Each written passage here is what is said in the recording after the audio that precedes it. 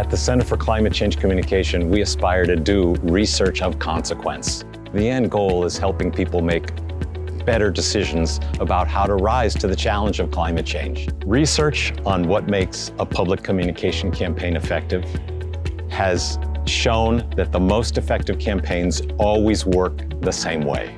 They have simple, clear messages that are repeated often by a variety of trusted and caring voices. That's the reason why at our Center for Climate Change Communication, we're always looking for those trusted and caring voices in communities to become the conveyors of the message.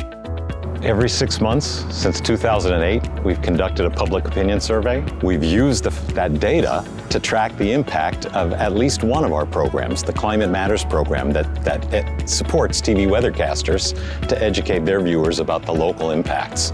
Um, and the Climate Matters campaign is the only campaign that has ever been shown to actually have improved public understanding of climate change nationwide. It's a fact that we're really impressed with and proud of. I came to Mason in 2007 specifically because I was so impressed with the depth and breadth of climate science going on here at Mason.